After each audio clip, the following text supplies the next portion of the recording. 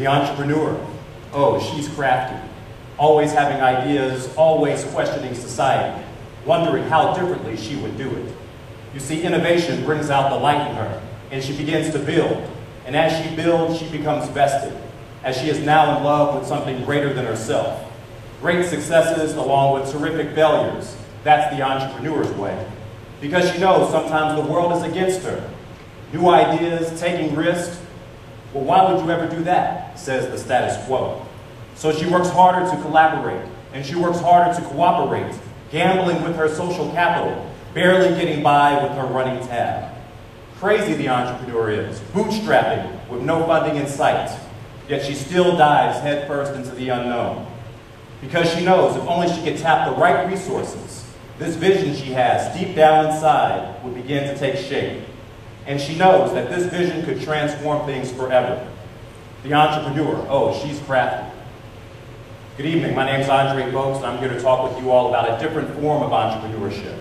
Imagine a world where you can apply this entrepreneurial craftiness to creating social change, one where social clusters are not just for having fun, but igniting a cause. Imagine a world where social efforts embrace innovation to deliver its services, a world where we can get government to embrace, excuse me, to reduce the barriers to entry and accelerate our growth. Imagine a world where private funding seeks out those social innovators and connectors who catalyze change. I'm not talking about affecting five or 10 people, but producing real transformative change for the masses. In our great city of Memphis, entrepreneurship can pull all this out, can pull us out of this talk of potential, and push us into this conversation that highlights results. Yes, entrepreneurship can be this vehicle. This is no easy task, with many barriers that try to hold entrepreneurs down. Barriers include aversion to risk and new ideas. This plagues communities all over the country, and if they're not careful, they will find themselves decades behind. What else is trying to hold entrepreneurs down? Government and private sector entrenchment, repeating the same efforts because it's comfortable, because there is a lack of understanding, and the refusal to accept that we are in a knowledge and innovation-based economy. How are they trying to hold entrepreneurs down? Through prescribed funding. Because of this entrenchment, we fund what we have always funded. And what we fund what we have always funded. Why are entrepreneurs being held down? The professionalism curse, where leaders in the community have lost touch with what the community wants and needs.